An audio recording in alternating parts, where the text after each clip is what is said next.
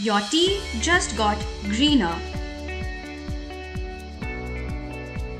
AVCO Energy successfully installed a 300 kilowatt ground mounted solar power plant for Kolony Tea Estate, one of India's leading tea producers based in Assam.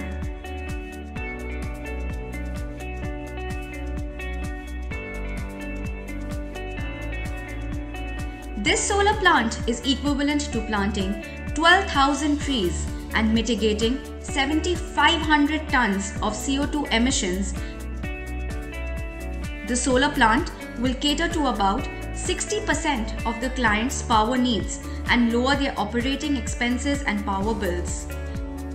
At AVCO, we are fortunate to work with them to offer solar power solutions catering to their commercial needs and sustainability goals alike.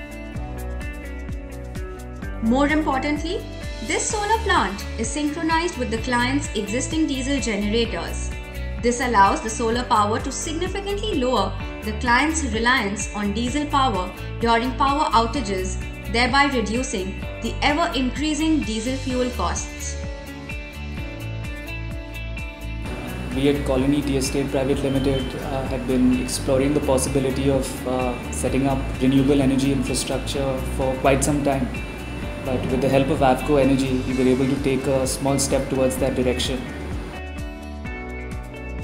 Their team has been very supportive and helpful in walking us through the entire process and understanding all the technical aspects of this and making it simple for everyone to understand.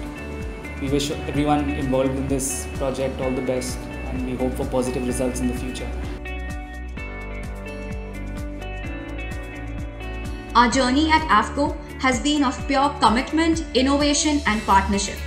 We firmly believe in the advantages and offerings of distributed solar services, and our team is extremely passionate about delivering the best in class solar power plant services for our clients. AVCO Energy, driving energy for change.